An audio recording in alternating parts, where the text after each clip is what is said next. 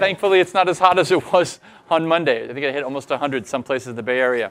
Uh, just give a quickie nod. Here's your histogram, uh, how you did. And um, overall, we were quite pleased. We were hoping all the grades would be packed up in the 70s and 80s, but some folks struggled for different things. Um, basically, if you're in the 30s or 50s, come talk to us. Figure out why you're not in the 70s, because we, we wrote what we believe to be actually an easy exam. And just questions that were right down the middle, not a softball with a, not a spin on the curveball, just a nice softball, easy pitch. Uh, and the grading standards are published? Okay.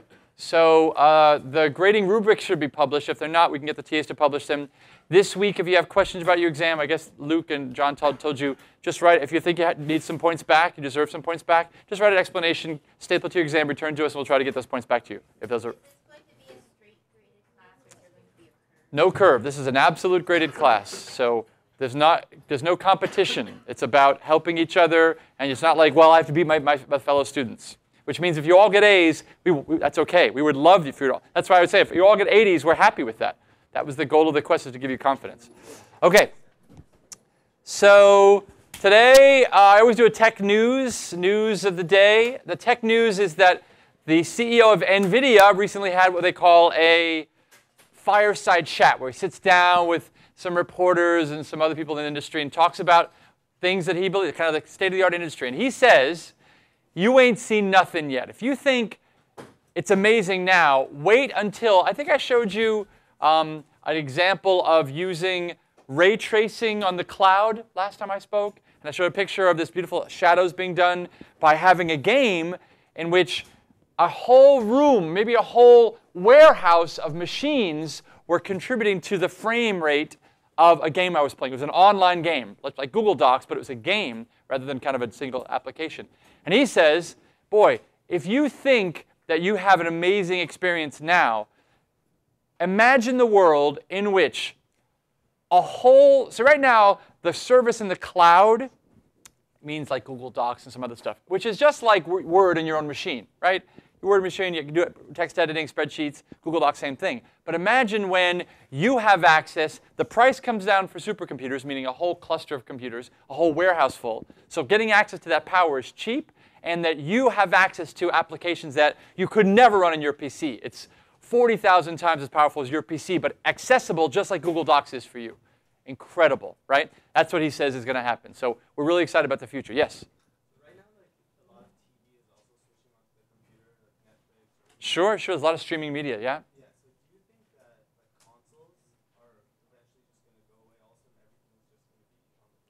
Wow, it's very interesting. There's a talk right after this. I'll give you guys an insider tip.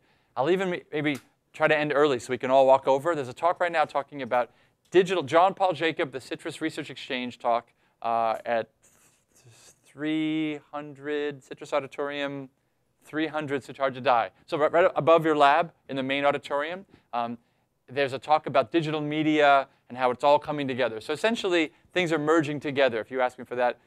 Film, television, internet, computers, it's all putting together into one thing. And all these companies are trying to put a, you know, put a box there that'll kind of make it all happen. For a long time, people trying to do that. It's interesting. It's, we'll talk more about that, but it's an interesting thing. And this talk, we'll talk, this talk will kind of get into that a little bit.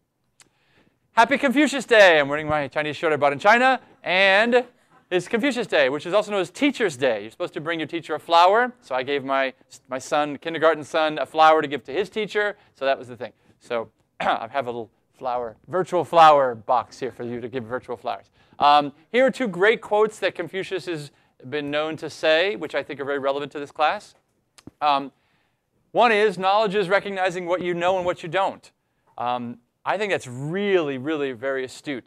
That it is understanding that um, they say a little knowledge is dangerous. And little knowledge is dangerous because you think you have it all, but you really don't. For example, oh, you, you, you're learning to drive a car and you, you do for one day say, oh, I can drive a car, but you really can't. And now you get a highway and then you have an accident because you really don't know how to drive a car well in all the situations. Uh, and here's something in terms of learning styles. Uh, how do you learn best? You might want to ask yourself. Um, I hear and I forget, I see and I remember, and I do and I understand. So that's what we believe as well. And that's why we're having this lab-centric course that has you do things, and that's hopefully working for all of you. So 10 miles up, concurrency. Concurrency is an idea that things happen concurrently, in parallel. Okay, that's the basics of it. And there's two ways of dividing up the world. You either have the world of intra-machine parallelism, which means within one computer, everybody kind of touch their computer nearby them, that's their nearby computer. Within that computer, many different kind of workers are working together to kind of solve some task. Then you have inter-machine parallelism, which is this computer in conjunction with that computer and his computer and that computer all work together. That's inter-machine parallelism, okay? Inter-machine parallelism we're going to save until week 12. Talk about systems and how Pixar uses a whole room full of stuff and how when you go online to do a search, Google fires up 20,000 machines to, to, you know, to, to, handle your request. All that's going to happen. Uh, by the way, there are handouts. I'm sorry for that. Luke is bringing them, and I guess there must have been a delay. But so, so don't worry about taking notes. All these are going to be notes. So please put your pens down and enjoy. Uh, unless you see something that I'm, that, that I'm saying that's not on these notes, in which case you should do it. But in general, every single lecture, we're going to strive to have handouts for you. So I'm sorry if we haven't done that as much as we, we, we promised to, but every lecture we, we are going to endeavor to have lecture notes for you before class. Great. Uh, so intra-computer is within one computer. So that means multiple cores. I've said that word before, but today we're really going to define it. Multiple cores, meaning your CPU, your processor, has different workers. We call them cores, and they're all working together to make something happen. And that's today's lecture. So there's also, by the way, GPU, the graphics processing unit, your graphics card, also has an amazing amount of parallelism. And we don't talk about that here. That's very, very valuable and very interesting, but that's not kind of what we're talking. We're talking today about multi-core and how to do that. And on the right, it's also called distributed computing. So five parts of any computer. This is the computer I mentioned before, and here are the five parts. And I've, I've even gone as far as to suggest that if you want, you can tattoo this I would use a henna, not a full in, in the body thing, but I would go with a henna tattoo of this. This is it. This is the five pieces of computer. John von, John, John, John, no, John von Neumann uh, is credited at, with this architecture. That's, he's a very important person in computer history. This is the von Neumann architecture, five parts. A processor on your left, which has what we call control and data path. Data path is like all the roads. Okay, all the roads that get data from one part of the system to the other.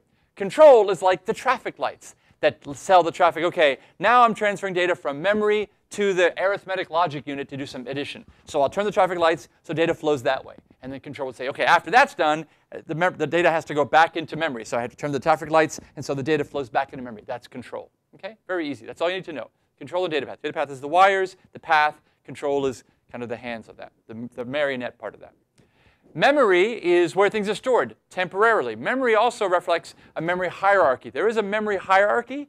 Disks are part of memory. They're just lower in the memory hierarchy. Then you have normal memory. You know, oh, I'm going to buy some RAM at Best Buy. That's what we usually mean by memory. But you also have smaller copies of memory that are kind of allow the processor to be much faster. And those are called caches. I didn't write that. You might want to write that down. Caches. C-A-C, C-A-C-H-E. And on the right, you have devices, the way the computer talks to other things, and that's input and output, or I.O. If it weren't for I.O., the computer just spin and hum and use up power, wouldn't be able to talk to me. This display is I.O. My keyboard is part of I.O. Right? A speaker or a microphone is part of I.O. If it didn't have any I.O., your computer would do nothing but use power and be boring. Okay? So that's how it talks to the world. All right? Clickers. Get clickers ready. Here we go. By the way, I don't know why we've lost so many students. We have 80 registered, and today, maybe they're at the beach. It is a very hot day. Okay, here we go. Clickers ready? At the ready? Go. What causes the most headaches for SW software and HW is hardware designers with multi-core computing? What causes the most headaches with multi-core computing? Control, data path, memory, input or output. So we're talking about parallelism. We're talking about this machine with lots of cores in it and if you're designing stuff in hardware or you're writing software, what's, what is just the thing that causes the most trouble? Okay? Remember, you may have never heard of these five words before, so this is kind of your best guess in a sense. Okay? 41, let's see if we can get to 50. Remember, this is out of 80 students who took the midterm. So let's, let's crank it up. 50, 50, squeeze it, squeeze it. 49, all right, well, we'll stop there. Okay? So let's just see what you said. Look at that. Interesting, okay? So the answer is C, memory. We're going to see why that's critical, but memory is really the thing that causes the main headaches. And it's because you've got one set of memory and you have multiple people trying to read and write that, and how do you keep track of the version and people don't clobber it, all that stuff. So it's about managing this shared resource of memory, which, which causes a lot of trouble. I'll talk more about the details of that, but yes. The hard drive does fall into memory. It's one of the lower tiers of the memory hierarchy. That's exactly right. Memory hierarchy, little triangle. Okay? All right. So keep on going. Let's, we have a bit to get through. So what's inside of a processor? Notice I'm kind of like revealing, uh, going deeper and deeper. So here is a processor. That top is, what, what was, what's a key word? That top is something of a processor. It's an blank of a processor. Louder. It's an abstraction of a processor. The processor actually has wires and transistors and heat sinks and all that. Well, heat sink is something else, but it's a more complicated thing. And that's just a simple abstraction. Beautiful. Exactly right. Well done. Uh, so here's some facts about a processor. It's kind of neat. Um, primarily made of silicon. Um, there's hundreds, hundreds to thousands of millions of transistors. That's the, the, the bullet point in green. Um, there's the ratio of size. There's something called feature size on a processor, which is how close two wires are, kind of how two transistors. How close can you get these guys? And you want to make feature size really small. How small are they up to now? 45 nanometers. That's incredibly small. The size of human hair is in the micro, I think it's in the micrometers. Okay? And maybe more, maybe much more than that. So that's incredible small, incredibly small. And they're getting down to 32. They now have the new Intel processors. Some of them are actually in 32, and they're going down to 22 and 16. That's the roadmap. They call that the feature size roadmap. So how small these things are getting. It's ridiculous how small things are getting. Um, they have conducting layers, so layers of conducting material. Uh, and CMOS is what this is made out of. So CMOS is just the kind of technology that they use to make this. You have this, this, this processor, really valuable, very expensive, very hot. You then have to solder it onto a package. You connect it to a package so that you have spreading of the chip level signals, so all these little teeny signals to something that is board level. Because that package is going to go, these are much more, these wires are much more uh, sturdy than the high density of wires here that have a little gold connectivity to that. Okay? So that package is now, and but another really important part is heat dissipation. That thing is getting to get ridiculously hot. We'll talk about how hot it actually gets. But you have this to help with the heat dissipation because that can then radiate out. And usually there's a, a, huge heat sink with these really cool fans and foils and, and, and, and, and uh, uh, to allow cooling of this incredibly hot device when you're actually running full, full scale. Any questions? Sure, sure. Uh, it doesn't get so hot to melt it. No, but it gets really, I'll show you how hot it gets. We'll, we'll show a, a heat graph, but it doesn't get hot enough to melt it, thankfully. If it did, we'd be in trouble. It might melt plastic, I mean, it gets hot enough to melt plastic, not metal, though. Uh, this is one of the most important laws. It's kind of a prediction, it was, uh, from a Cal graduate. Check this out. So this is Gordon Moore, who was the Intel co-founder, got his bachelor's in 1950, and he predicted doubling of transistors every two years. And let's, let's look to see how well, how well, how well he did. 1971, 1980, 1990, 2000, 2008, and it does. That's the line that's doubling, and look how close everything that's come out has been that. And it actually, he believed that initially it was a belief in, here's my prediction, and it became a roadmap the industry used. So kind of, it's not a, it's not a, it's not a uh, coincidence that the lines run along the dot because they said, well, we have to be at this date, we have to be at this point, and so let's hurry up and work on our team so that we hit that mark. So it really isn't so much a prediction as it is kind of a roadmap that was used. And Luke has some handouts that we're going to go and hand out to the, to the team. Yes. Okay. Go ahead. Yes, it became a self-fulfilling. He actually says himself. It's more of a self-fulfilling prophecy than a, than a prediction. Okay, so clickers at the ready, and we'll do the clickers as Luke is doing the handouts with maybe some help from other folks. And what is this curve? Jonathan talked about different algorithmic uh, categories, okay? Constant, linear, quadratic, cubic, and exponential. And keep in mind what the axes are, okay? So let's start this one. Ready? Go. How'd that move? Did I just click start? Start. Okay.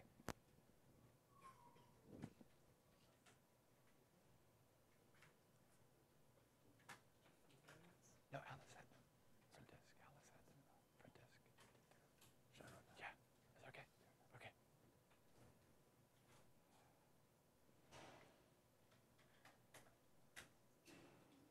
There's my, there's my key 49 number. All right. 50. You had 50. Great. And let's see how you did. Uh, talk to your neighbor. Have, have a second. Let, us have some interactivity. Talk to your neighbor and tell them what you said and why. And, and come into a consensus. So go talk to your neighbors. And if you're in five, if you're in a five row, make a group of three. But make sure you talk to your neighbors.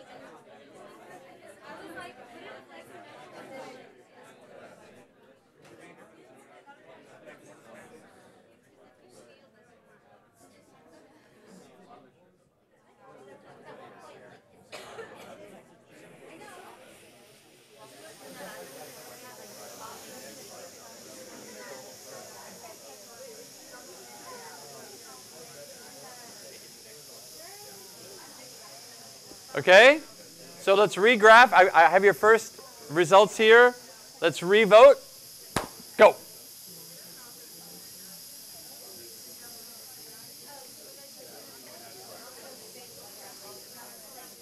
Let me see what the cause of that sound is.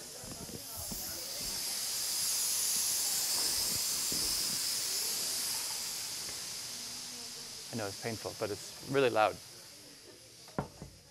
If, if, if it stops, we'll uh, open the door again. Okay? 46, 47, come on, 48, 49, 50, and 50. Yoink. All right, display. All right, so this was, that's your second guess, and that's your first guess. Look at that. Interesting.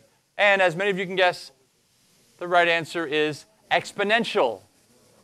This is an exponential growth. Every year, you double.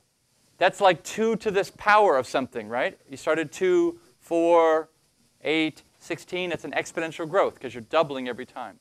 Okay? That's kind of cool. And amazing that, whoops, that we've been able to keep at that rate so long. It's incredible. We have exponential growth in not just doubling transistors every year, but actually, next slide, related curves to Moore's law. So by the way, Moore's law is only transistors on a chip. So they say, oh yeah, Moore's law is this capacity of a hard drive. It's not. It's also exponential, but it's not Moore's law. Moore's law is only transistors on a chip, right? Okay. But here are some related curves. Also, on a, on a linear exponential graph, right? This is, a, this is a log plot here, linear plot. That means an a straight line is an exponential curve, okay? So this is a log plot on the, on the vertical axis. Look at this. Let's actually look at some of these key things. Transistors, so the top one you've seen is transistors in thousands. And you see that's the, that's what's really cool is all the data points for the transistors is listed there. That's kind of neat. I also see here that I have frequency, which has gone up also exponentially, but on a slower rate, a little bit slower rate. Okay. Typical power, look at power and how much power we're using for a CPU, just the, just the CPU, not even for the whole computer, just the CPU, not powering the display or the keyboard, just the CPU. And then here is performance. And it says single thread performance. And we say, what is a thread? A thread is, we'll talk about in two slides, but single thread means that the program doesn't split. It just kind of is one linear path of flow. It doesn't kind of split and have other helpers to work on it. It's just one single linear path of flow. Okay? Basically, if it had one core, a single thread would work on that one core and keep that core fully optimized. If you had multiple cores, then a single thread would only use one of those cores because it does, it does split in a way. Okay? So here's what we got. Look what happens around this time here. Something happens. Something significant happens that hasn't happened in 30 years. Let's look at it again. 75 to 2005. That's 30 years where you're beautiful until something happens. And what happens? Yeah.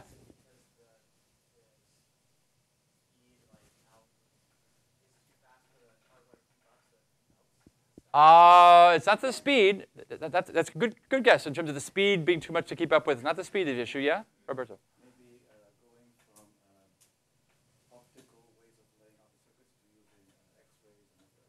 Uh, that's lithography, and that's talking about how, how to make the circuits. And in fact, that hasn't changed. That, that's, I mean, that, that's evolved, but that's not the reason. That's evolved to different things. Oh, no, it's, it's related and it gets smaller. Things are getting smaller and smaller, and you have to go to different ways to actually lay out the chip. So that would be the inflection. Oh, I'm sorry. True. Right, right. So things run hot. I hear things run hot, and that's the key thing. Things have run too hot. Okay? We couldn't cool the chips. The chips are getting this typical power is the key lane. We can't cool the chips anymore.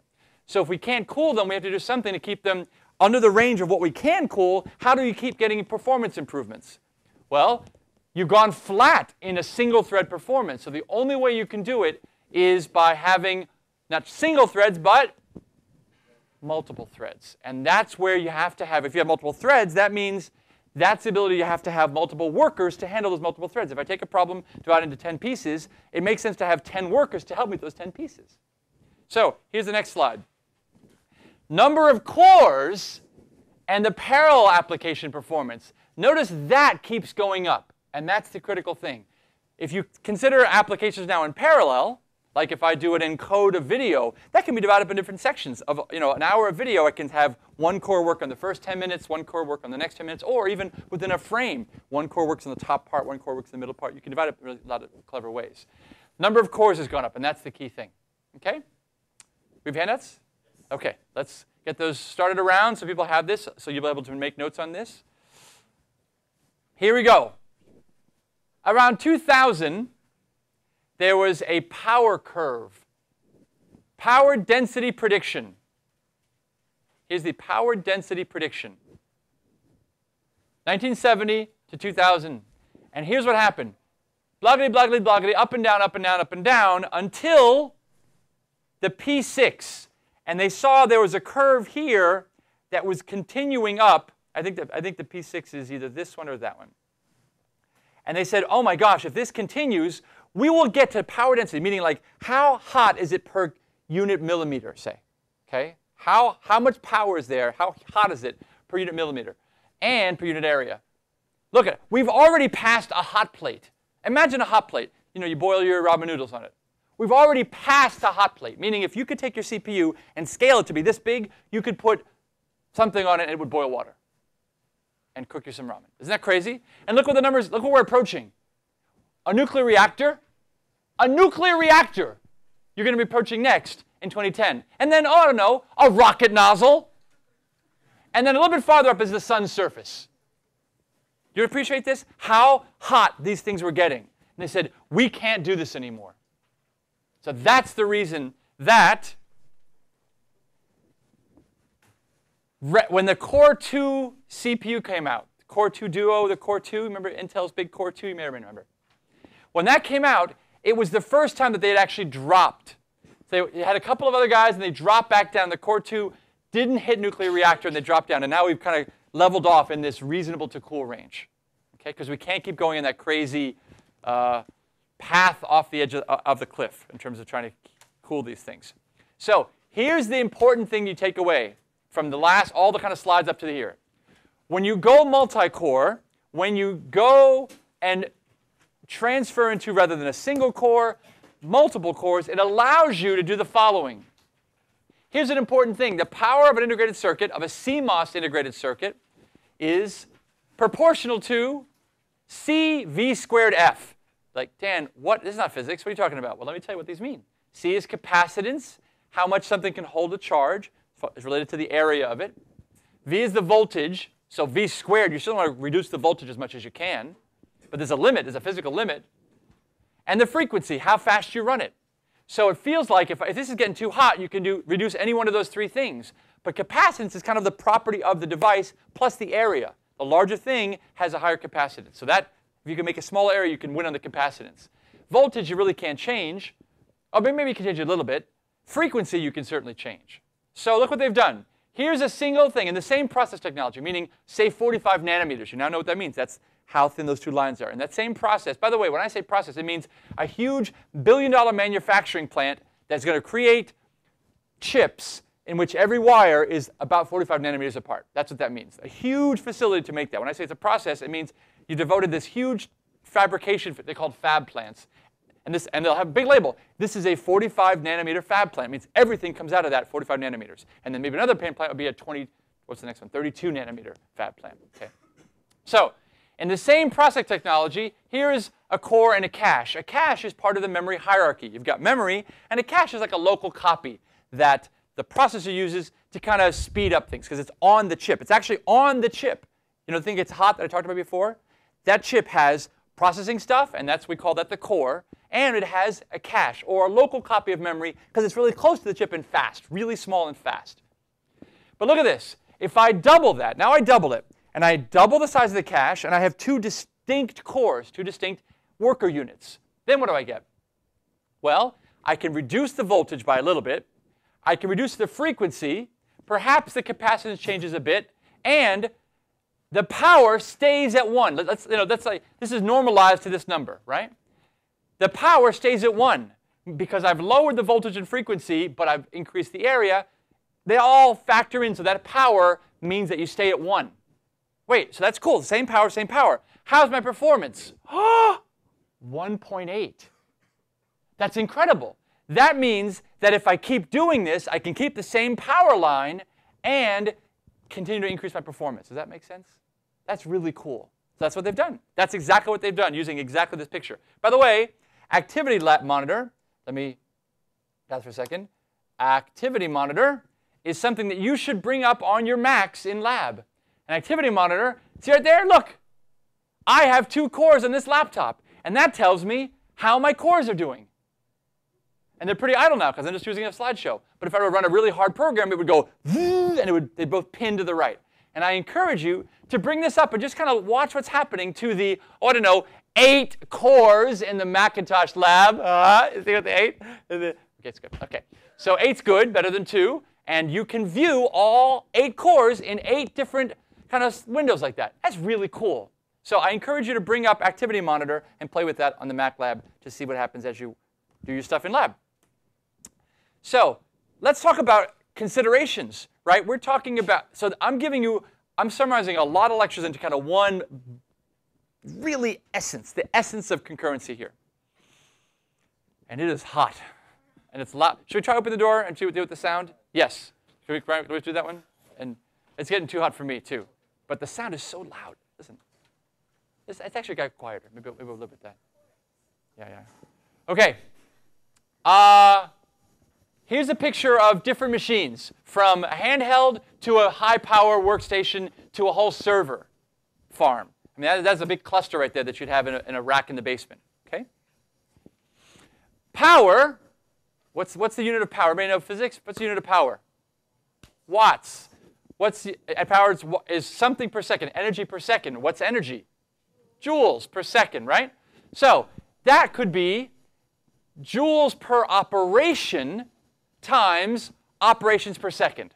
You, can, you know, I can just make anything. It can be joules per elephants times elephants per second. They cancel out still, right, joule energy per second. But operation is like doing something. And the nice thing is, operations per second is the clock frequency. It's how fast the heartbeat of the system is.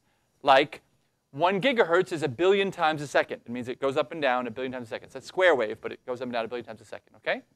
So look at this. Here's what's really cool. I can now graph, because I have a product of two things, if I hold power fixed and power is constant, then I look at the graph of those two factors, energy per operation on the vertical axis, operations per second on the horizontal axis, and what you get is, for a fixed power, there's this 1 over x kind of shape curve. You remember 1 over x, 1 over x curve that you're seeing here? For a fixed power, I have this curve of I can ride anywhere along this curve, and that's still satisfying my fixed power. Okay, so you have different power constraints for different devices. Handhelds have a much lower power constraint. Big workstations may not have any high end, but may, may, you may have you know, Energy Star and you have to get things within, let's say, 100 watts. You might only have 1 watt for a handheld. Now, let's think about here. What are some of the things that come into it? What are some of the factors? Well, thinking about power, well, that means power is going to affect how I package it because I have to dissipate that power. Cooling is, again, part of the dissipation of heat. System noise, if I have a fan, how noisy things are. Um, case temperature, how hot. My, actually, my phone gets actually hot. You feel my phone is actually getting hot because I've I've turned it on right now to show me a little clock. And I've turned, I've turned the, kind of the sleep off. So it's been on the last 40 minutes, and it's actually getting pretty hot. Okay, so that's a consideration. And then you have air conditioning. You have this big rack of, rack of servers. You have to deal with HVAC or heating. Uh, what's the V for? Heating and HVAC? I don't know what the V stands for, but AC stands for air conditioning. Heating something in air conditioning. I don't know what the V stands for. Ventilation. Heating, ventilation, air conditioning. Thank you. And then energy, you have issues like battery life, the bill, and the, the mobile device, and the weight. Okay? So it's kind of cool that if, if I, watch this, if I can reduce my energy per operation, make my, my chip more efficient somehow, then I can make it faster because I can, for the same power, do more, increase the performance. Isn't that interesting? But if the cost for doing something is really high in terms of the heat energy per operation, I better crank down my clock to keep within that one watt constraint. So I have to ride that somehow, and if I can get that down on the, on the left side, if I can get this down, then I can walk farther out and get higher performance. So it actually makes sense to spend a lot of time thinking about how much energy per operation, which is kind of a weird way to think about it, but you can if you break it like that. So now, you're going to say, but Dan, look, I had a dad who was in grad school, and they did parallel programming in grad school 30 years ago. What's different this time? Well, you saw what was different this time. That curve flattens out. Three or four slides ago, there's a curve that flattens out. We've gone multi-core for the first time ever in 2005-ish. So here's the phrase, and I'll read it to you if you can't read it from the back. This shift toward increasing parallelism is not a triumphant stride forward based on breakthroughs in novel software and architecture for parallelism. Instead, this plunge into parallelism is actually a retreat from, either, from, from even greater challenges that thwart efficient silicon implementation of traditional uniprocessor architectures. So it says, we tried to keep squeezing juice from the lemon of the uniprocessor, you know, single core, fast thing, just turn the clock rate up, and we can't do it. We can't do it. So it's a retreat. It's like we've given up. Isn't interesting? And gone parallel because we have no other way to get over the hill, to keep giving performance increases to our users in a uniprocessor domain. We have to go multi-core, multi-processor. Okay? Kind of cool. So now let's talk about some software parts of it. You're writing a program, and the program has a single what we call thread. This a single thread that says, I am just a single guy running on a single core and do this. Oh, if this, then go over here. Okay, call that subroutine, come back. Do all these things. It's a single thread. At no point have you ever explicitly said to your program, hey, split up. I have a list of 10 things. Split up and 10, 10 workers attack each one of the elements of my list and then come back. And then when you're all done, we'll do something out of that. Okay? That's what the idea of threads is. The idea of threads is a thread of execution, a single stream of instructions as you navigate your way through your path, okay? Through an if loop, through a function call, single thread, okay? A program can explicitly, what we call in our computer science word, fork itself. Bloop, and now it's two. And both of them are going to compute something. And then there'll be a join that allows us to merge later, okay? So I'm going to fork or split into multiple threads. Those can be handled by multiple cores, right, the helper units. And then some point I'll join later and we'll all keep walking forward. And that allowed me to have parallelism, and that's really cool. That's called multi-threading, okay? So a single CPU, a single CPU, if my laptop had been a single core, not two, you saw the two, two, two VU meters, but had it been one, a multi-threaded program could still work. And here's how it works. Five threads want to be run. Five things need to be done. For example, there's somebody playing a movie in the background, and there's Microsoft Word running, and Firefox is downloading a video, and YouTube is over here doing something, and somebody's uh, playing a game. Well, you all know that you were able to run multiple programs at once, right, on your laptops. Your laptops may be old enough to be single core. Well, how did it do it? Well, it did this time division multiplexing. Ready? Uh, who were you again? You were the game? No, you were not the game. You were the movie. Okay, okay, ready? Movie. Okay, you got like a millisecond. Okay, play some frames. Okay, done. You're asleep. Okay, Microsoft Word. You got some stuff. Okay, great. Firefox, do some downloading. Great. Uh, YouTube, play some movie. Okay, great. See, when you have things that are kind of playing movies, that's a problem because you can drop frames if you don't get enough time in the time division multiplexing. If I added more and more things to run in this time division multiplexing, you'd see your movies start to skip because they couldn't keep up with the data rate. They're not, they're just with one CPU and one core, you don't have enough time in the time division multiplexing to like not drop a frame. So you'll see audio starts to sputter, video sputters. You've ever seen that before? I've seen it. Okay? That's part of the problem when you have this. Multi-threading says, yes, I am dividing my problem into multiple threads, and I have a computer that has multiple cores to handle those threads so that it kind of matches up nicely. Right? If I had five cores, but I think all five you can run at once, and you're all happy. Nobody has to kind of sleep. That makes sense? It's kind of cool. So this is a really big slide. You're going to say, well, Dan, if I could split my problem n different ways, and I had n different cores, wouldn't that be n times faster? Right? Let's say I had 100 cores and I had a problem that had 100 different pieces. Well, doesn't that mean I would be exactly 100 times faster? Rather than taking 100 seconds, I take one second. In theory, right? That's the perfect world. 100 cores helping with a problem that has 100 threads. And it, initially with one thread, it took me 100 seconds. Well, they all should be able to run all together in one second, in theory. Amdahl's law is a limit and it says every program you write is going to have a parallel portion that you can split and a serial portion. It means you can't split. It has to be run on one core. It can't be split up. Okay? So every program has some ratio of that. Some ratio of that. A parallel portion, a serial portion. Not too hard. Okay? The parallel portion can get split up, and that can be really fast. But the serial cannot. That we call in computing is a bottleneck you are bottlenecked, you're stuck by that serial portion. Okay? So let's look at it. Amdahl's law. S is a serial fraction of the program. Okay? It's a fraction, number from 0 to 1, that says how serial your program is. If it's 0, then it's all parallel. If it's 1, that means it's all serial. Okay? P is the number of cores. It used to be the number of processors because you used to have different processors, literally two different processors. Now we have one processor, multiple cores. My, the machine in the lab, by the way, is two processors with four cores each, just to, just to give it, if, if you wanted to cure it. It's not actually eight different cores on one CPU. It's actually two CPUs with four cores each, kind of neat. And the new machines come out have six cores on two, six cores each, and you can put two of them in there for 12. Uh, so here we go. Speed up. The speed up as a function of the number of processors, okay, Whenever you say speed up of something, it's the time, it's the old time divided by the new time. Okay? The time of one processor divided by the time it takes for p processors. So the speed up is time for one over time for p. Kind of makes sense, right? And what's the speed up? Well, time for one, we'll just call it 1. The time for p is, well, I've got some fraction that's serialized. I can't divide into pieces. And a fraction that's not serialized, which is here. I might even zoom in to make it easy for you to see the time that's not serialized, which is the parallel part, which is 1 minus s. That's the parallel part. And you're going to divide that by p, because that parallel stuff you're going to divide by your p processors. So the 1 minus s, or the parallel part of your code, is going to be divided by how many processors you have. Well, as p goes to infinity, as I allow you to have an infinite number of processors, what's the asymptotic behavior of that? Okay?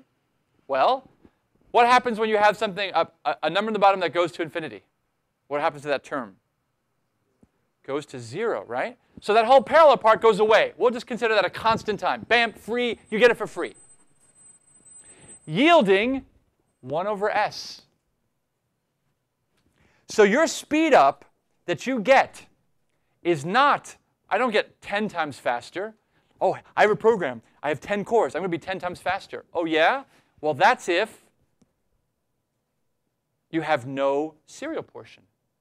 If there's no serial portion, yes. And in theory, in perfect world, you're 10 times faster with 10 cores. You divide it up 10 pieces, you're 10 times faster. But really, the ratio is li limited by 1 over s. p isn't even a function here because p goes to infinity. So that's really interesting. So the performance is limited by the serial portion, if you ever have code. We say, well, Dan, Even if it were all parallel, could you get that infinite speed up? If I had infinite processors, could you get infinite speed up? No. Here are the issues. Look at this. This is just a small share of all the problems there are for me to divide up a problem into parallel workers. For example, in lab, you're going to have this fun project of shuffling cards and then sorting them again, like putting them back in the original order.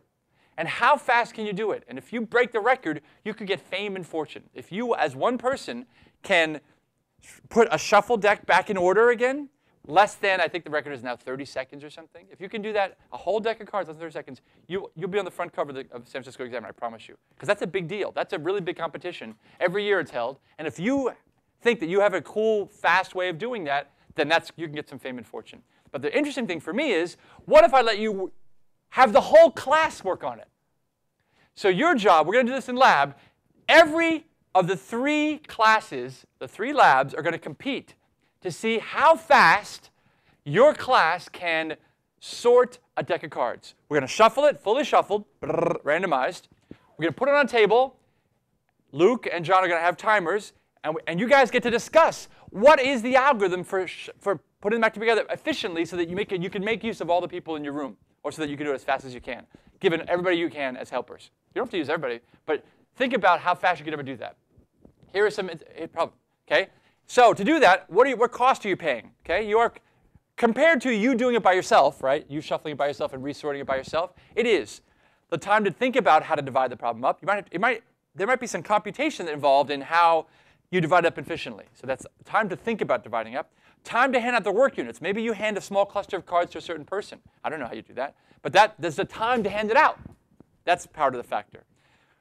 All the workers may not be equally fast. One person might get, oops, and then the glasses fall off, and now the cards are here, and, I, and this is me. It's like Woody Allen. Where is the cards? Where are the cards? And all of a sudden, you can't even see the cards. So that worker, me, is much slower than the other workers, and now you're waiting for this slow worker to do it because my glasses fell off. Some workers may fail. I may lose a card. I may spill coffee and up, oh, and it goes in the garbage, and it, oh, it's down the drain. You've lost my cards. You can't. You hold up. How do you deal with that?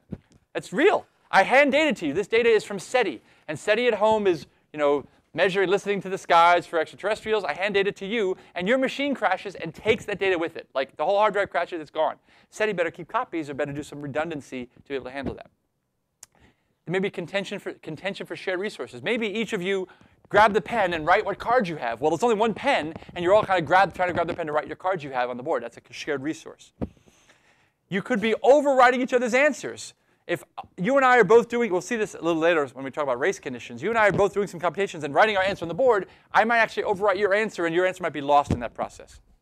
Um, this happens, by the way, if you ever do this, if you ever take the task of co-authoring a paper, and you say, well, let's just email around what the current version is. And I email it to you, and then you make some changes, and then I email it to Bob, and Bob makes some changes, and both of you had what we call write lock. Both of you were making edits to my original draft. And then you come in, and then I say, well, okay, take yours, that's the new draft. And then you give me, okay, this is the new draft, and I'll overwrite your draft with this one, and all the changes you made are gone because you both were making changes to two copies. So that you kind of had a shared resource, and you're both overwriting that. You might have to wait till the last worker returns. You might actually need all the cards. In the case where I drop my glasses, you might actually need that, so you're waiting for me to do the, as a slow worker. And then you have to put the data back together, which is perfect, right? Cards have to eventually be back together as a sorted pile. So all of that's relevant to your problem and to almost all parallel problems. All these things prevent Amdahl's law from even getting to 1 over s, because you have all these issues of the parallel part not being perfectly parallelizable because of this. So, quickie, quickie Query. This sea change to multi-core parallelism means that the computing community, me, you in the future if you join the computing community, has to rethink which of the following. Languages, architectures, algorithms, data structures, or all the above. Go. Let's do a fast one. See how fast I can get to 49.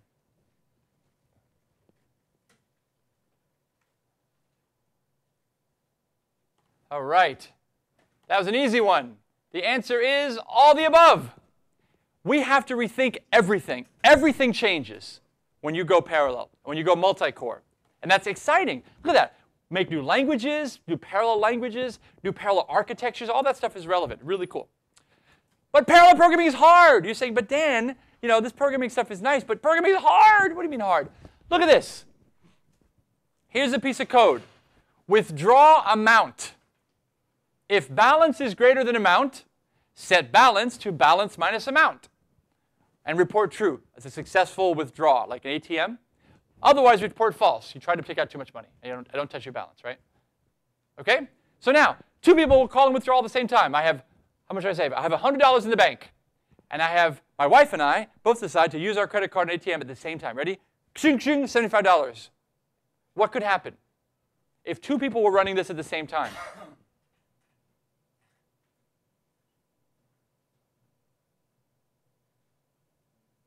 the behavior you want is one of us succeeds, one of us doesn't, right? Only 100 bucks. We can't both take out 75. So you want a good behavior. But what could happen in a worst case for Bank of America?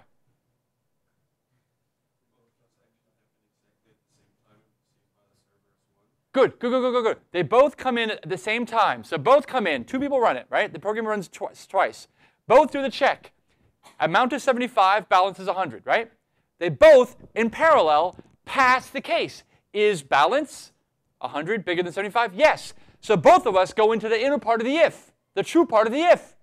And both of us get to do what? Money, money, money, money. Right? We both take $75 out. Both of us correctly update this balance, and the balance will be negative. Even though this is supposed to prevent the balance from ever being negative, the balance will be negative as a result of that. And then we quick run, run our way to Jalisco and never see him from again. So in most languages, this is a problem. In almost every computer language, this is a problem, except in Scratch. Scratch will prevent this from being a problem.